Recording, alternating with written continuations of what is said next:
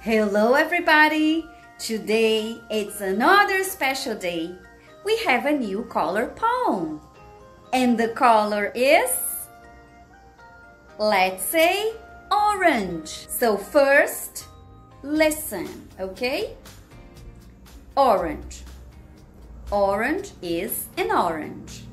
Orange is a carrot. Orange is the color of the beak of a parrot. Nice, isn't it? Now listen and say orange. Orange is an orange. Orange is a carrot.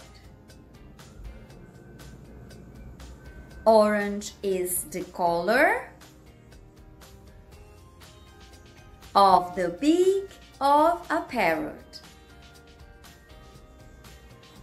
Very well done.